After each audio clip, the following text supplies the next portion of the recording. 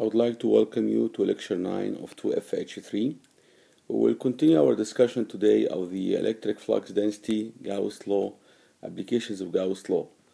And uh, we will cover today chapter 4, pages 126 to 137. In previous lectures, we talked about the electric field, and uh, we have shown that the electric field resulting from a, a point charge is given by this expression it depends on the value of the charge, the square of the distance from the charge to the observation point, or the field point as we call it, and um, multiplied by unit vector pointing from the charge to the observation point. The problem with the electric field as a, as a quantity is that it is material dependent, because you can see for every material, for every different type of material, epsilon will be different. We usually use epsilon to be that of free space, but uh, epsilon is different in wood, is different in water, is different in, in fat cells, it's, it's different for every type of material. So we prefer to have a, a quantity, an electric quantity, which is independent of the uh, material. And this is why we can define the, uh, the vector D, and you'll see very soon uh, the, it, it, it, has, plays a very important role in electromagnetism. So D is equal to epsilon E. So D is a scaled version of E.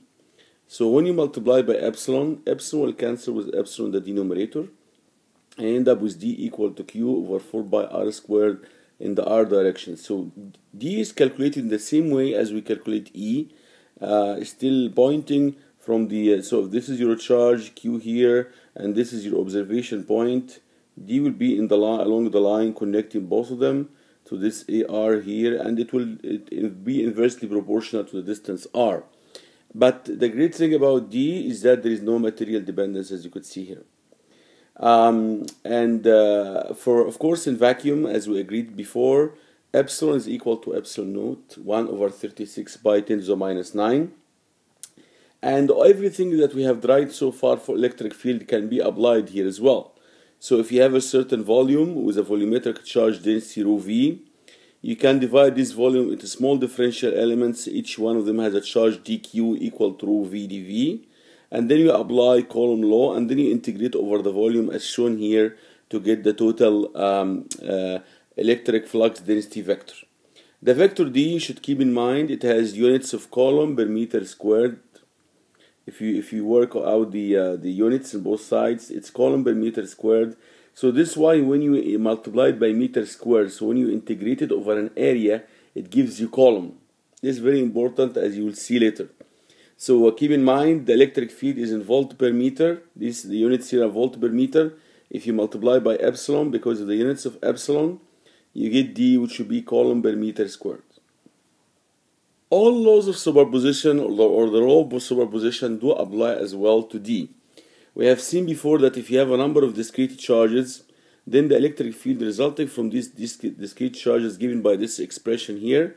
So what we do, we find the, field resulting from h from the nth charge, is the value of this charge divided by the modulus, uh, the, the modulus squared of the distance between this charge and your observation point in the direction of the unit vector pointing from the charge to the observation point. And what you do, you sum all these contributions and of course 1 over 5 1 over 4 by epsilon is a common term you do exactly the same thing for d but the only difference is that epsilon is missing so you can see epsilon here because d is equal to epsilon e and it's it eliminates simply the, the, the epsilon term and this will be the, the vector the electric uh, flux density vector d resulting from a discrete distribution of charge we before got an, an, expression for the field resulting from a linear charge of finite length with infinite length. Uh, this expression for finite length. Is the same one we got for electric field, but epsilon in the denominator has been removed, as you could see here. The same thing applies for the uh, field resulting from a uniform charge. Uh, we have infinite plane with uniform charge rho s d, E is equal to rho s over 2 by epsilon in the normal direction to the plane. We talked about this earlier. So if you have a plane like this and it has a uniform charge all over it, okay, it's distributed over the plane. It's an infinite plane. Then the electric field here is in this direction. Electric field here is in this direction. Uh, and the difference between D and E, as you can see, is, is the ratio of epsilon. Electric field has epsilon denominator, while D does not have uh, epsilon in the denominator. The electric flux, the electric flux through a surface is uh, is very similar to uh, the surface integrals we talked about before during the vector analysis part.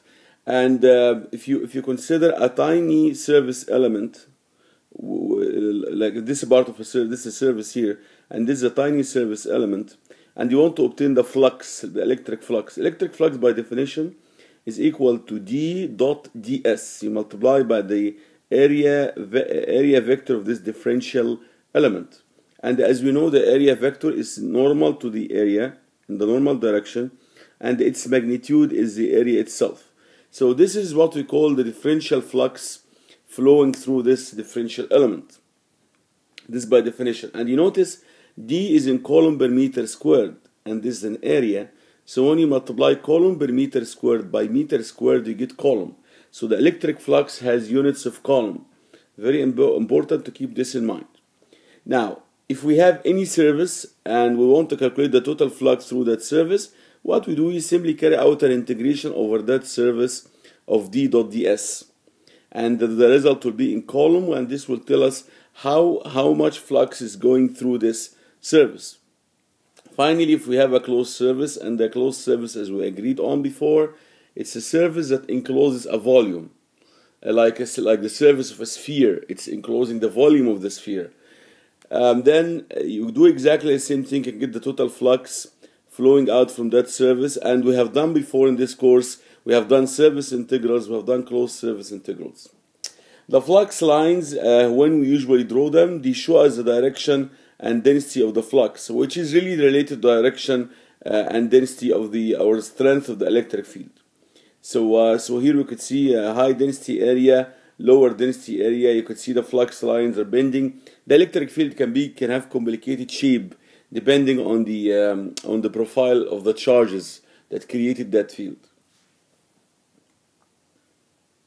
So electric flux over a closed surface is a very important uh, tool we use very often because it it's actually a measure of the charge or the electric sources actually here in this case it charges within that enclosed and within that surface so for example here take a look at this figure you have a, a closed surface and the flux lines are diverging diverging from that volume. They are all flowing out. This tells us that the total flux coming out from here must be positive. Why? Because if you try to see if you try, draw the normal at any point if you for example come at this point and you um, you draw the normal here so if I do that something like this.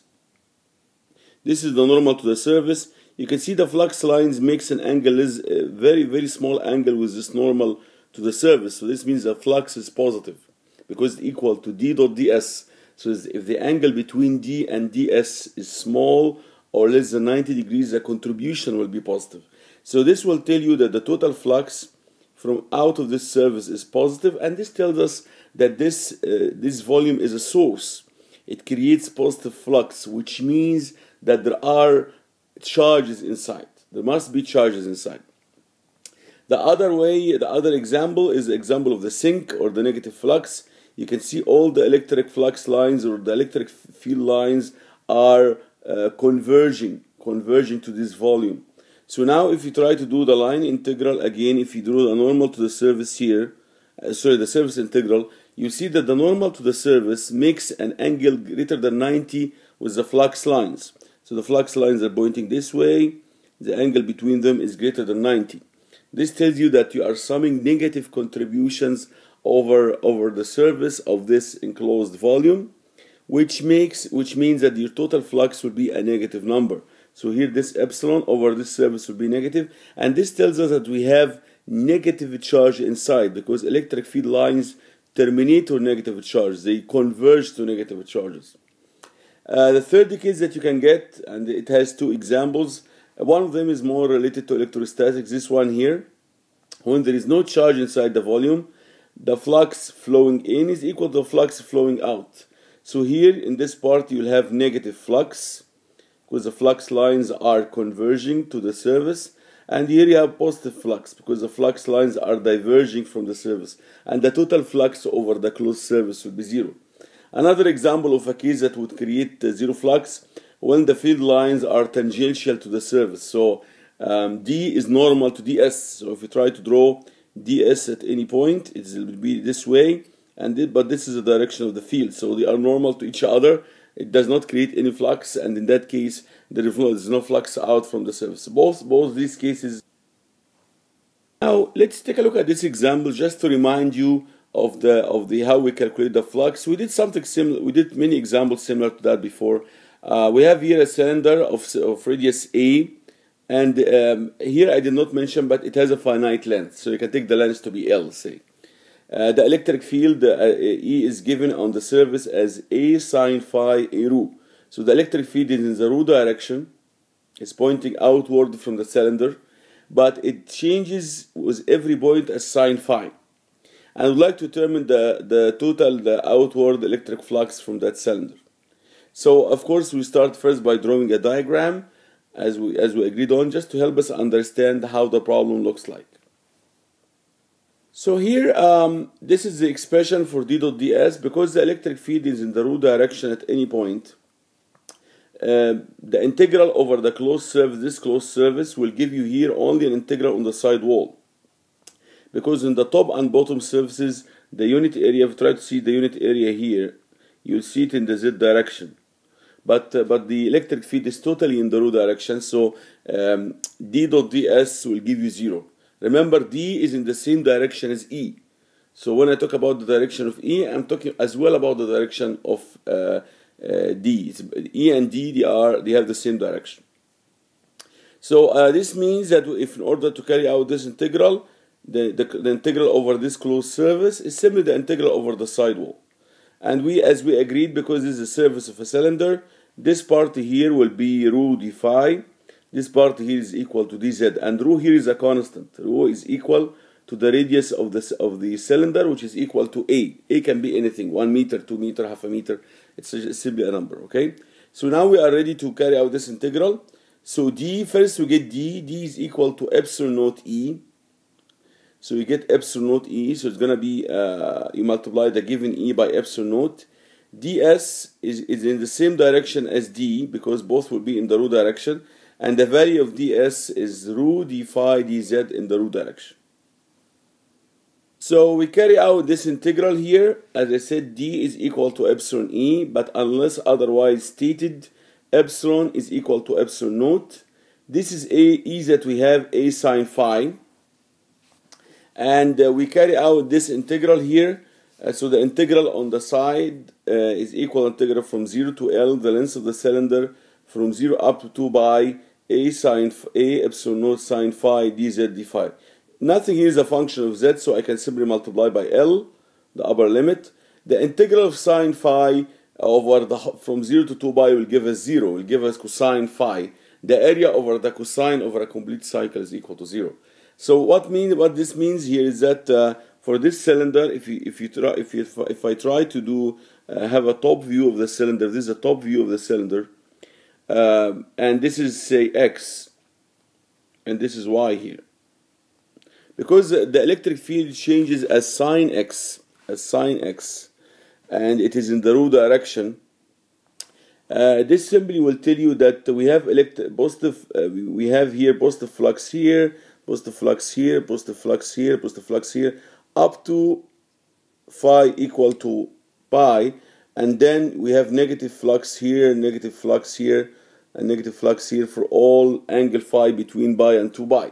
So so the net flux is zero here as I explained uh, earlier and this is one of the cases uh, where um, you don't really get a net flux but some other cases we get a positive flux or a negative flux